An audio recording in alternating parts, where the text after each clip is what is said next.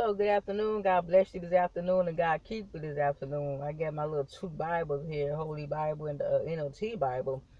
And I was uh, just reading out of, uh, but I'm going to share with you reading out of Matthew chapter 11, uh, verse 1 through 7 of the Holy Bible King James. It says, Now it came to pass when Jesus finished commanding his 12 disciples that he departed from there to teach and to preach in their cities. And when John had heard in prison about the works of Christ, he sent two of his disciples and said to him, Are you the coming one, or do we look for another?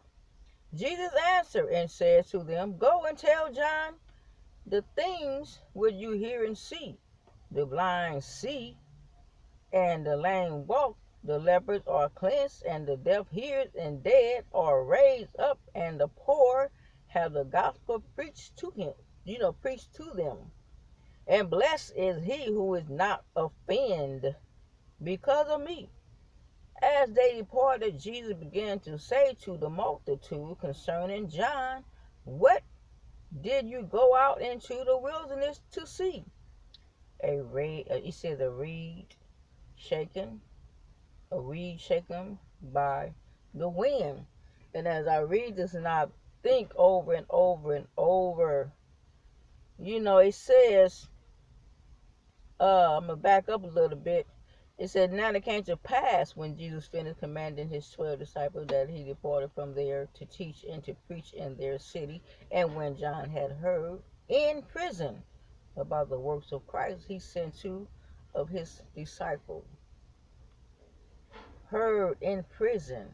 And sometimes, you know, you can hear the word of God even in prison, you know, and sometimes they give God a clap and a praise and everything in the prison, prison where they're locked up at.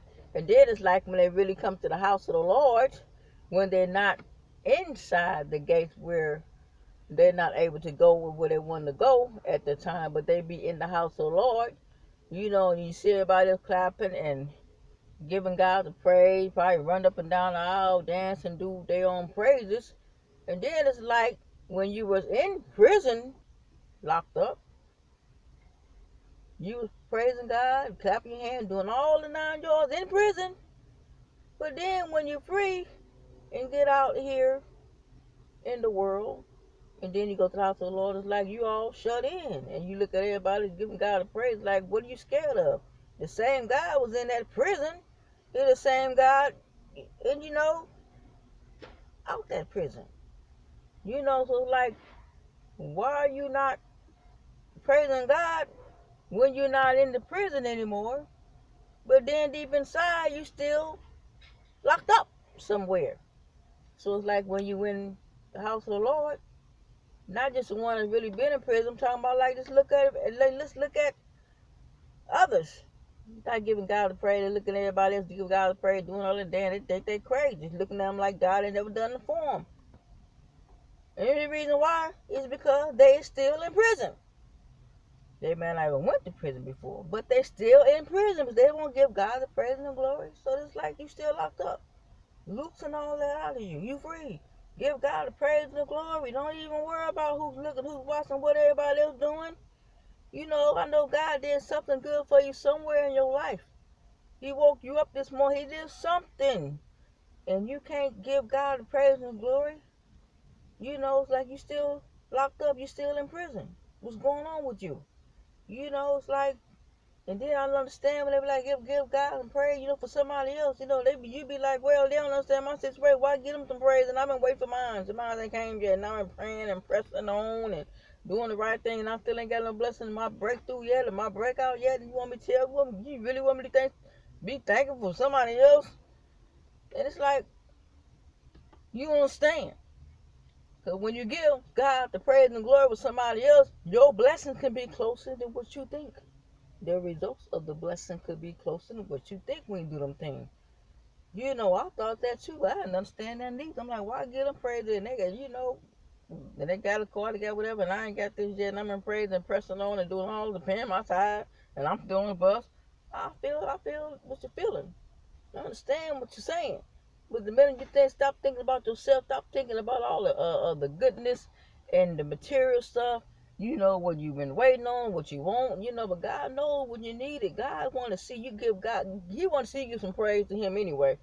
And when you give them praise and then be happy for somebody else, yours gonna be closer than what you think. Sometimes God gonna be testing you, you're gonna be helping somebody else, or you gonna still be like caught up in your own selfishness. You know, if God can't trust you with a little, how you think He gonna trust you with a lot? A little bit, a little bit saying, you know, a little happiness, a little praise, a little clap or something for somebody else. You know, before you can get yours. You can be oh, out with mine's on the way. Think positive. Mine's on the way. Mine's next. I'm gonna be thankful. I'm happy for you. Because I know the mine not mine closer than what I think. Because I don't think uh uh if I don't think positive, you know, I'm not gonna receive the positive message. It's gonna take even longer until God, you know, show me what He wants me to do. Show up and show how. So I do understand, you know, what people may be thinking of what they saying. I ain't giving no praise. I'm, I'm waiting on mine too. You know, I ain't. Oh well, that's them. Goody goody. No, that's selfishness. Give God the praise and glory too. Brother, whoever got whatever, give God the praise and glory. You know, you know, just believe in your, your chore's on the way. When your husband, house, car, whatever, whatever it is, it's not nothing too hard for God. He wants to see you give him the praise and give him all what you got. You worry about you. That's what to do your dues, don't worry about the don't. When you be having somebody else, you know, God, you, your blessing to be closer to what you think. When you be happy with somebody else, don't hate on somebody else because cause they got they got father before you. You don't know what's been going on in their everyday life. You know, you don't you don't see what everything, but everything, minute, every second, whatever, what somebody is doing, God knows. That's why I said God knows your heart. He knows who's real and who's not real. So get out all that prison and stuff. Give God the praise and glory, even though if you by now you feel like you maybe don't think it's right. Do it anyhow. A lot of things don't be right. Look at the world. A lot of the stuff in this world ain't right. But you still trust in God. You still hope somewhere. You got to keep your faith. You got to keep the uh, the positive. Stay on the positive side. Amen, somebody.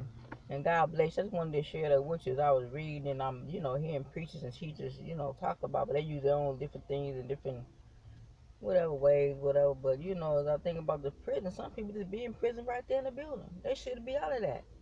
You still in prison. They giving God a praise, just sitting there looking at everybody why you, you still shut in? You still in prison in your own self. You still in prison. Praise God. Get out all that. Release yourself. Let God in your heart, in your mind, in your soul. Get your mind off others. Glory be to God. And that way you know what God has for you. Glory be to God. Amen. God bless you. God keep you. I'm perfect each and every last one of you. Spite of you going through. I don't even know what you're going through. I don't know my God. He will bring, He will fix it. You see you going through, He will bring it out. One, He'll bring you out. One way or another. Don't worry about the rest. Do your best. Do your dues. Don't hate. Don't hate on somebody else or whatever they got. Hallelujah, somebody. You know, just keep on praising God. No matter how they praying or what they look like. You know, you're supposed to be in it for you because they can't save your soul. You can't save theirs. Amen, somebody. Anybody pray with those watching, God bless you. Then God keep you, the Lord lead and guide you, protect you, and help you get out that prison prison stage. Get out all that uh hatred and hating on somebody, what they got, or what you see them, or what you see them, or who they with, or what you seeing them do. I pray you to go for you and and just be blessed in what God has for you. But your blessing will be closer than what you think. You can just mess that up in one second by hating on somebody else. But don't worry. I mean, just being mean to somebody else. Be nice. Rejoice with somebody else. Rejoice with somebody else has. No matter, you know, it just don't matter who it is and what they look like. Because y'all could be closer than what you think. Try it. Just try it. Just try it and just do it. And keep on doing it. Don't stop and don't quit. Because I know what I know what you're feeling. I've been there. And I know what it's like. You know, you just keep on pressing on and keep on holding on and keep on praising God no matter who, who's watching. Keep on lifting your hands up no matter what, what who's watching or uh, what they doing. Worry about what you doing. Worry about what God has for you. It's about you. Between you and God, it's not about religion. It's about relationship with you and God. Amen, somebody. God bless you and your family in Jesus' name. And I pray to hear this heal you from top of your head, from bottom of your feet in Jesus' name. And by his strike, you are healed, you are well if you believe in Jesus' name. God bless you and your family in Jesus' name. Stay up in the mighty name of Jesus. Don't hate. Love one another. Do your dues. Don't worry about the doing. In Jesus' name I pray. Hallelujah. Amen. Amen. Glory be to God. And God bless you and God keep you. And remember, God love you and so do I. You take care and have a wonderful, blessed evening and have a wonderful, blessed day. A wonderful, blessed day in the Lord. Stay up. Stay blessed. Do your dues and don't worry about the dope. In Jesus' name. See you later next time. God said the same.